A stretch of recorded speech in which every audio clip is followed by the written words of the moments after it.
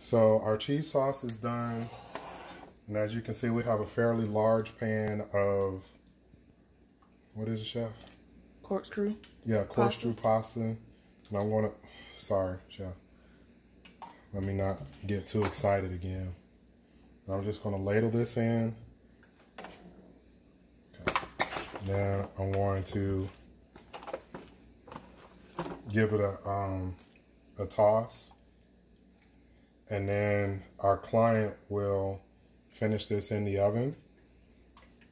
And I'm going to take some of that residual cheese and I'm going to mix it in and cover the top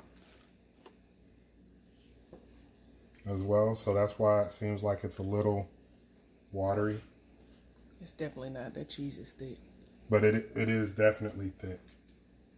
And it's nice and melted. Um, what are you looking for?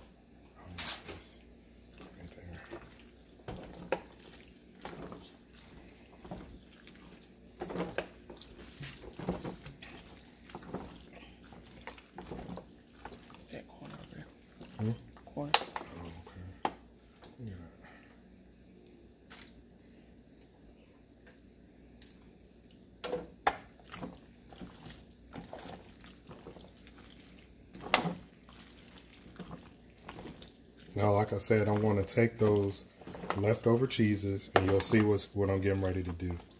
I want to mix those up.